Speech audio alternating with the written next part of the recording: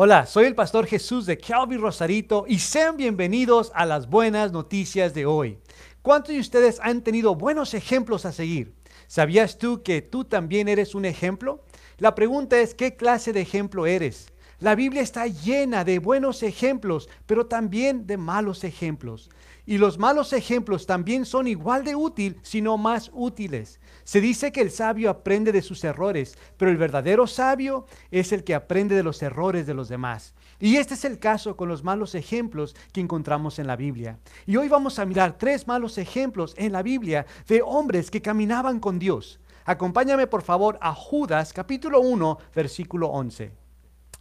Hay de ellos porque han seguido el camino de Caín y se lanzaron por lucro en el error de Balaam y, perecieron en la contradicción de Coré. Aquí miramos que Judas nos habla de tres ejemplos de hombres que abandonaron la fe.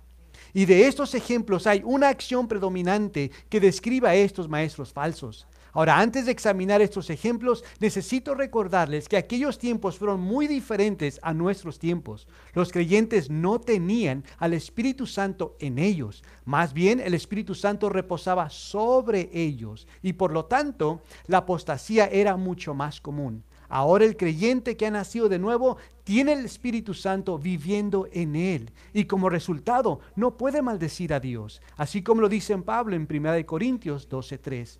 Ahora vamos a mirar estos tres ejemplos uno por uno. El primer ejemplo, han seguido el camino de Caín.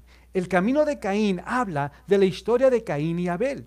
Estos siendo hermanos le ofrecieron una ofrenda a Dios y Dios miró con agrado a Abel y a su ofrenda. Y leemos que Caín se enojó y mató a su hermano. Ahora el segundo ejemplo, se lanzaron por lucro en el error de Balaán. Balaán era un profeta que básicamente se vendió aceptó maldecir al pueblo de Dios por dinero, se dejó sobornar. El tercer ejemplo, perecieron en la contradicción de Coré. Coré era de la tribu de Leví, era de los sacerdotes, y reta a Moisés y en sí cuestiona a Dios por tener a Moisés sobre el pueblo de Israel y quiere causar un motín para quitar a Moisés y tomar su lugar.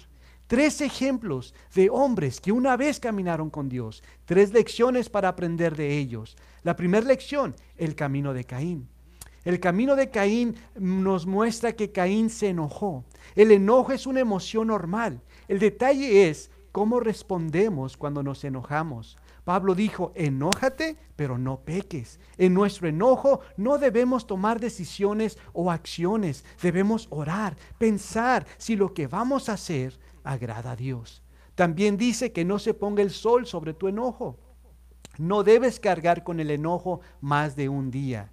Ya para la noche, antes de dormir, debes dejar la injusticia, ofensa en las manos de Dios y confiar que Él se hará cargo. Si no como Caín, el enojo dará a luz rencor, resentimiento y venganza. La segunda lección, el error de Balán. Balán fue ávaro, se vendió como profeta para maldecir al pueblo de Dios, se dejó sobornar. Yo creo que ninguno de nosotros abiertamente aceptaría un soborno para el mal del pueblo de Dios. Pero el detalle es que el enemigo no nos pide que lo hagamos de esa manera, sino que lo hace con cosas que parecen ser buenas, de noble causa. Pero el resultado es el mismo, el poner nuestra voluntad por encima la de Dios. La tercera lección, la contradicción de Coré, envidia. Coré no, Coré eh, no estaba contento con su ministerio. Como resultado, empezó a envidiar a Moisés. Y la envidia tarde que temprano empieza a envenenarnos y envenena a otros. Y su fin es destrucción.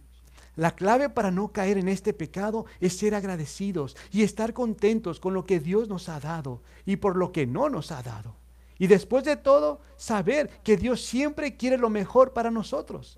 Tres lecciones de tres ejemplos, estos hombres influyeron para mal a estos maestros falsos. Ahora tú y yo tenemos la bendición de influir para bien a otros por medio de nuestro ejemplo.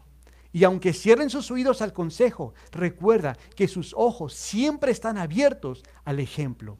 Y estas son las buenas noticias de hoy. Que el Señor te bendiga.